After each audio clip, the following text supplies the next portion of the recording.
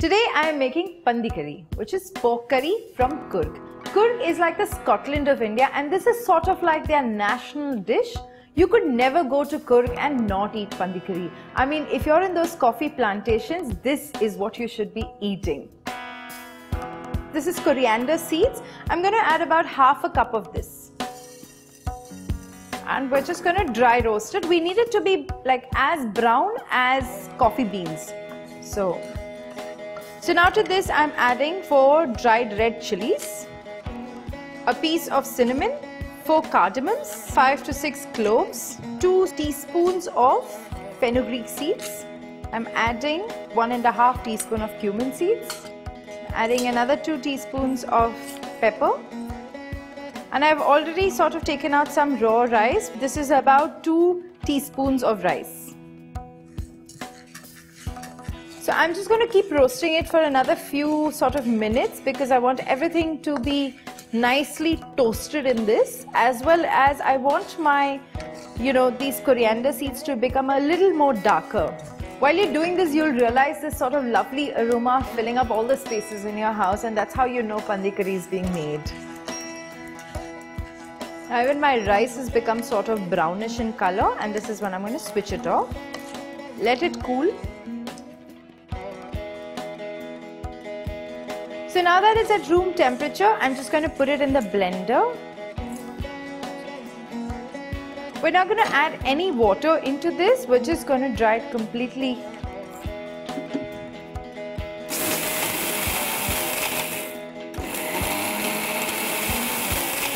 Now our masala is done. The best thing about this spice mix is that you can keep it for a good week to 10 days. So now we're going to get to step two, which is we're going to make another masala, which is the fresh masala. For this you need a handful of coriander, a few cloves of garlic, I've got two pieces of ginger as well, and about five to six green chilies, half an onion to this.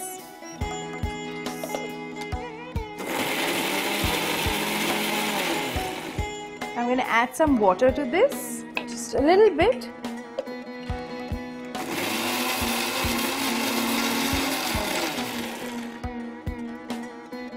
That's it. So you can see it's a fine paste and that's how we want it. So let's leave this for now and get to our pork. So I've got about 500 grams of pork here. This is with fat. So let me show it to you. So as you can see, I've still got the fat in the pork. Uh, we're going to cook our curry with this fat. So we don't need any more oil or anything like that. I've already washed the pork again with vinegar and some salt and that's how you want to do it as well to just sort of take away the stickiness. Okay, so just put it in a pressure cooker. So to this we are going to add the fresh masala we made. I'm going to add the onions in as well.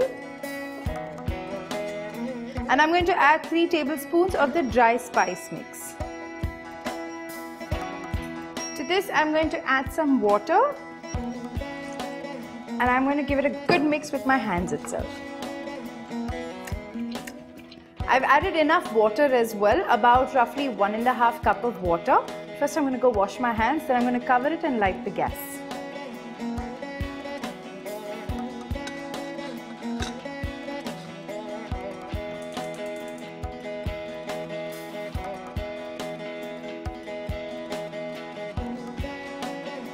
I'm just going to open it.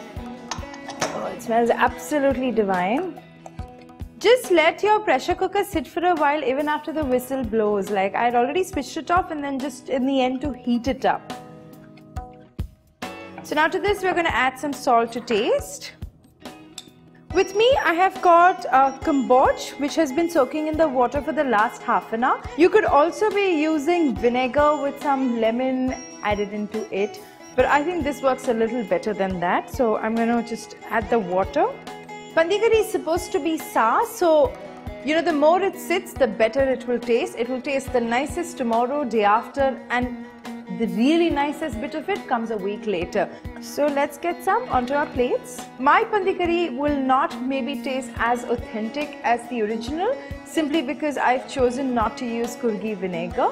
But if you get your hands on them, you should be using that and nothing else at all.